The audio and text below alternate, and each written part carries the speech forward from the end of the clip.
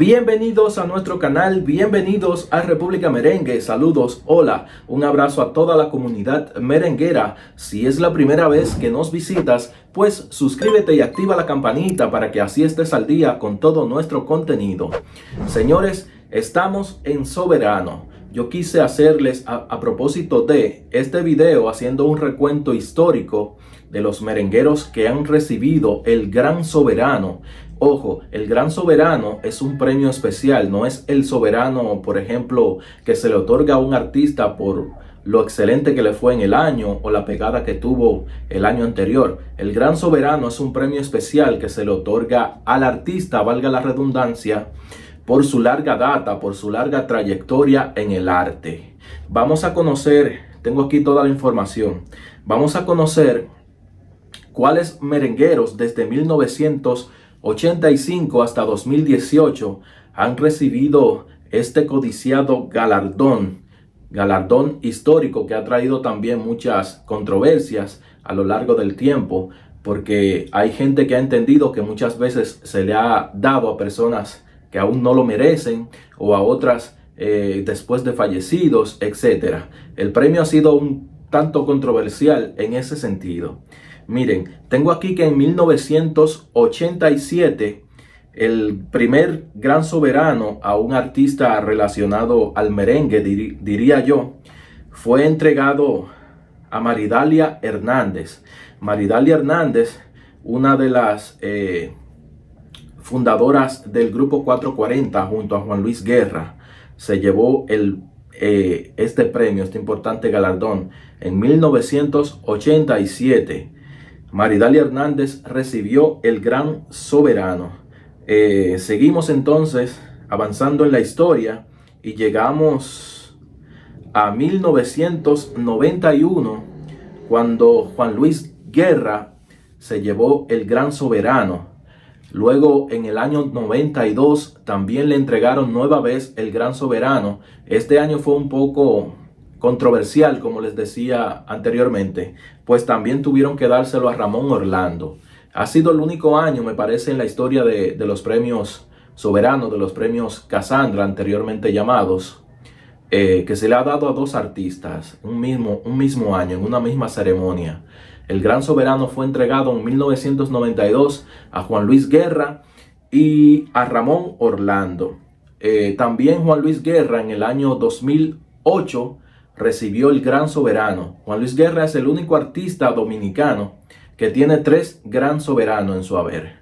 El único artista que tiene tres Gran Soberano. En 1993, el Gran Soberano fue entregado a Pochi Familia. Seguimos avanzando en el tiempo. El Gran Soberano en, esos años que no mencionamos fue entregado a diversas personalidades del arte, de la televisión, eh, de la música, de la actuación. Otro artista relacionado al merengue, aunque era más bien comediante, actor, pero también tuvo su época en el merengue, fue Luisito Martí. Ese año se lo entregaron a, a Luisito Martí en 1996. También se lo entregaron a Ángel Muñiz. 1996, Luisito Martí y Ángel Muñiz. Llegamos a 1998. Este año lo recibió Mili Quesada, la reina del merengue. Y seguimos avanzando en el tiempo. Llegamos a 2001 cuando el caballo mayor, el difunto Johnny Ventura, recibió el Gran Soberano. Año 2001. Johnny Ventura recibió el Gran Soberano. El difunto Johnny Ventura recibió este codiciado galardón en el año 2001. Llegamos al año 2002 y el merenguero Wilfrido Vargas fue quien recibió este importante reconocimiento. Los merengueros históricamente han sido los que más eh, han recibido esta, este premio, valga la redundancia. En el año 2003, seguimos con los merengueros, Fernando Villalona fue quien recibió el Gran Soberano, año 2003. Luego, en el año 2004, Joseito Mateo recibió el Gran Soberano.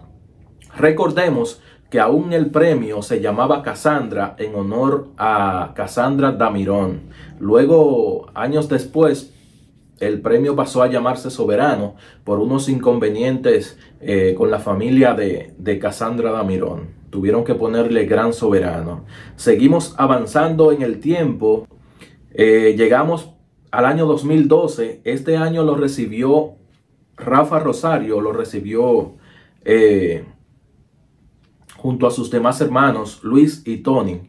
O sea, la agrupación Los Hermanos Rosario recibió en el año 2012 el Gran Soberano.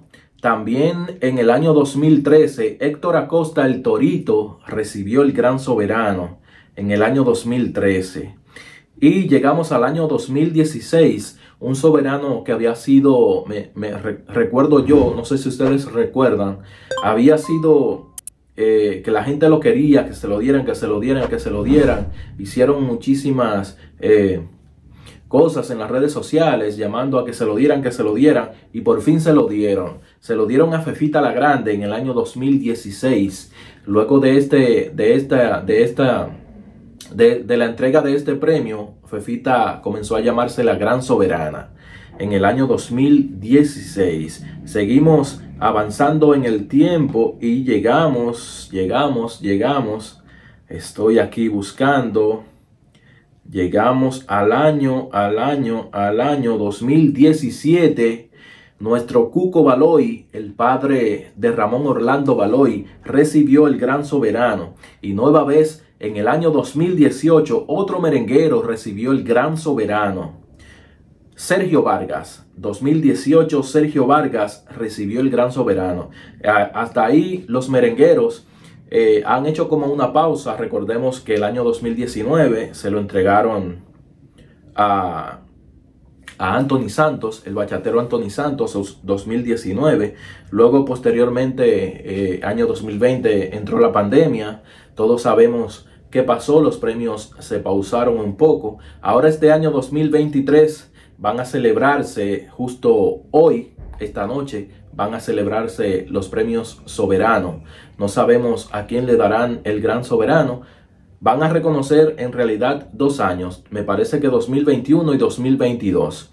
No sabemos si van a entregarle, por ejemplo, el gran, el gran soberano a alguien en 2021 o el gran soberano a alguien en 2022. No sabemos qué va a pasar, pero hay que ver el premio esta noche. Esos eh, han sido los merengueros que históricamente han recibido el Gran Soberano desde 1985 hasta el año 2018, que fue el último Sergio Vargas quien recibió este codiciado galardón. Así que estaremos ahí pendientes, mirando a ver cuáles son los merengueros que han ganado, cuáles son los merengueros que se llevan a, a sus casas esta codiciada estatuilla. Estaremos informándolos y dándoles eh, todos los pormenores. Un abrazo, hasta el próximo video.